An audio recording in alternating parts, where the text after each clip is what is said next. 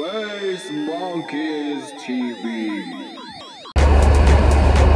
早速続きごさ先は車の中なんですけど今からどこ行くかと言いますとですねロットを購入しに行こうというところですねえー、明日から遠征にまた突入するという準備段階を今日はやると思うんですけどえー、欲しいロット、えー、もうツイッターでも言わせていただいたんですけどレイドジャパンの、えー、アンダーテイカーかキングヘビーか、えー、ディファーサーそれかエバーグリーンインターナショナルの、えー、ムーンゲイザーかスターゲイザーのどっちかなということも言ったんですけどまあ価格とかねいろいろ他にも自分が今これが欲しいっていうねロッドがねちょっとあるんですよ。何をやりたいこれがやりたい。それをちょっと釣り屋さんに見に行ってもしかしたらそれ以外になるかもしれないけど皆様一体何を私は選ぶんでしょうか。自分自身も一回釣り屋さんに行って物を見てやっぱり手に取らないとわからないところがあるので確かに行こうと思います。それでは本日の動画はロット購入しますレッツゴー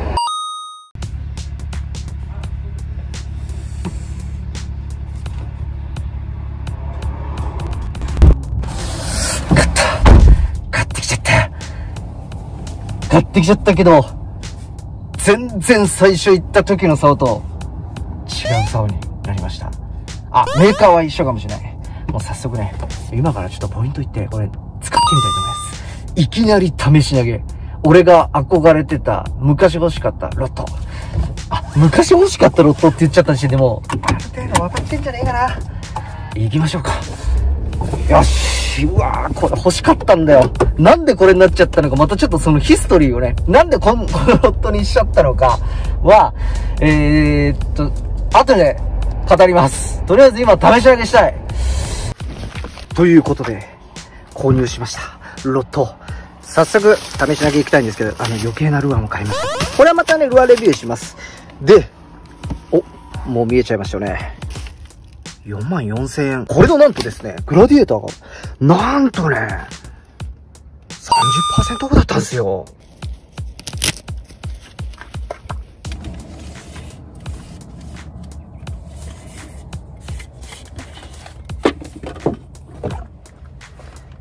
出ましたわ。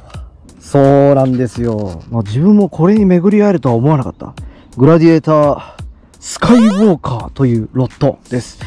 え、まさにこれ、グラディエーター、レイドジャパンがね、発信したての一発目の竿と言っても過言ではない、スーパー岸釣り特化型のロット、巻物、M プラスぐらいの硬さかな。そうだね、M プラスだね、ミディアムプラス。これね、もうずっとね、持ちたかったロットがなんとね、30%オフで置いてあったんですよ。これ1本だけ。だから本当は買おうと思ったやつがああったんですけどね。えー、オライオンが1本もなくて、まあ、ほら、いやいや、でも5万8000、5万5000とかするからね。ちょっとどうしようかなと思って、グラディエーターアンチのキングヘビーも在庫なし。どうしようかなって迷ってたら、こいつを見つけたわけですよ。いいっすね。さあ、試し投げ、スカイウォーカーっつったらまず、レベル5投げなきゃね。つってもちょっと足元ちょっと怪しいんだよね。ここの、あ、ねえ。転ぶとこだった。危ねえ。腰を痛めてるので気をつけなきゃ。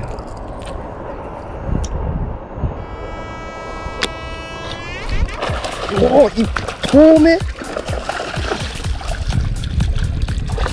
おいおい、マジか。ああ、巻かれてる。巻かれてる。巻かれてる。マジか。わわわわわわわわわわわわわわ抜けた抜けた抜けた抜けた。抜けたけど腹にかかるちょっと待てよちょっと待てよ。巻かれて腹に。ああよっしゃよっし。ゃう一投目。ここら辺で今いた。バスいたわ。何も見てなくてキャストしたらいきなりグーンって入ったから。いやーでも泡すげえな。うん。ビビった。一投目かい。釣れちゃったし。はい。まさかの一投目でいきなり。そこなんかいねえかなと思って入れた瞬間スーってきてバクって食ったんだけど。顎下にかかっててそこの木に巻かれて外れたと思ったらぐるって巻いちゃって。でまたちょっとすれがかりっぽくかかって、お腹にフック残って、まあ、いきなり釣れた。びっくり。その後もパニックでしたけど、いきなり入魂できました。いや、バレたねオッケー取れたけど、なんかそれっぽい釣り方じゃないからちょっとびっくりします。投げて巻いて釣りだったけど、まあまあとりあえず1匹。オッケーはい、つうことで、さっきからね、本当あ、もうベイトが慌ただしく。で、さっき何も、まあ釣りしてないところで、こっからボイルでバーって何匹も小魚追われてきて、で、バス入ってきてまた出てってっていうのを繰り返してて、なんとなくまあこう、一時ずらしたところで、そこちょっと、ね、入れ替わり立ち替わり入るから、バイブレーションちょっと落としてみようかなと思って。で、奥の方全く気配なく、ポチャッと落とした瞬間、その奥の方からいきなりスッて現れて、バクっていなり、バフもうほんと、落ちた瞬間にバフって口使って。で、釣れたんだけども、そこの木に巻かれて、で、外れて、な、多分巻かれたから、バスの体にも糸が巻きついちゃってて、外れたんだけども、その糸がこううまくぐるぐるぐるってなってお腹にかかって上がってきたバスでした。ちょっと取るのに苦戦しちゃってお腹にちょっとダメージを与えてしまいましたけど、えー、申し訳ないというようなかかり方しちゃったけど、まあ、一匹取れたって感じです。いやー、まさかの、本当は遠くに投げて、ちょっと遠投して巻きたかった。そのためにやろうと思ったんだけど、なんとなくこのおかっぱりアングラーの差がというか、足元に打ちてっていう気持ちが先行しちゃって、1投目ポチョッと落としたら、釣れちゃったもんだから全くスカイウォーカーの投げて巻くっていうものが成立しなくての入魂。何なんでしょう。このロッド、まだなんか起こしてくれそうです。まあ、取りもよかった。よし、次はスピナーベイト。えー、キラーズベイトですね。ガンクラフトキラーズベイトミニッツですね。8分の3オンスかな。このぐらいもやっぱり、いいですね。すこぶるな飛ばし。でね、ロッドがね、これ6.1かな。そうだね。6.1、ファーストテーパー、ミディアムプラス。4分の1から4分の3オンスまで投げられて、8から8、8ポンドから16ポンド。えーの、えーライン。今これ、12ポンド、フロロですね。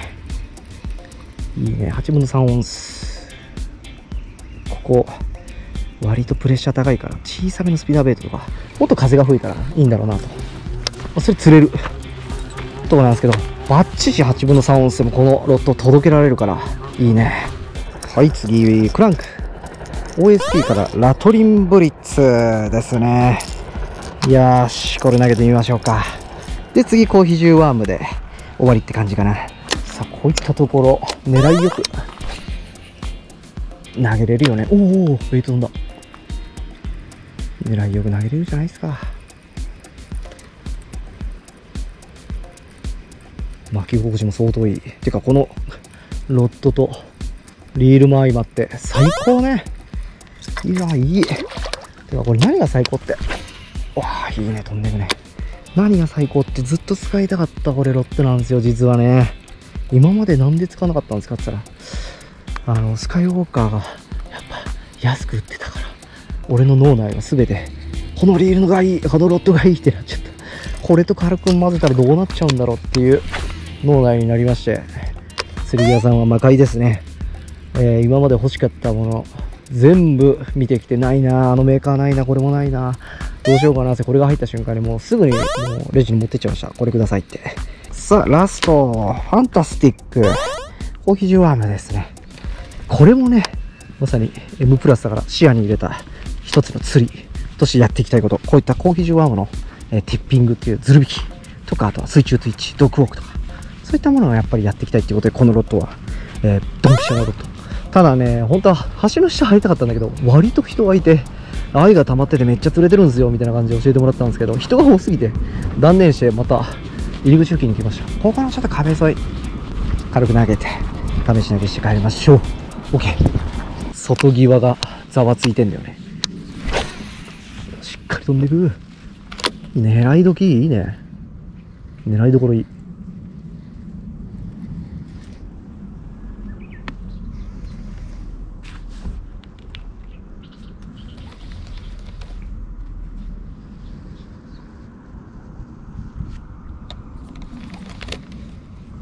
Whoa,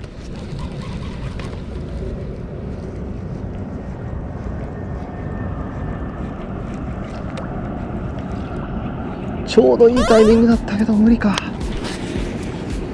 ちょうどいいタイミングだったけどね。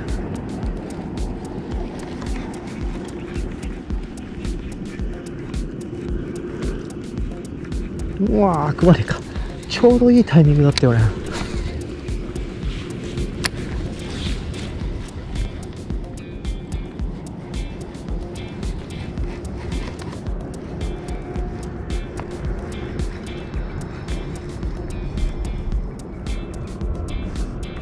箱とか出そうだったけど今。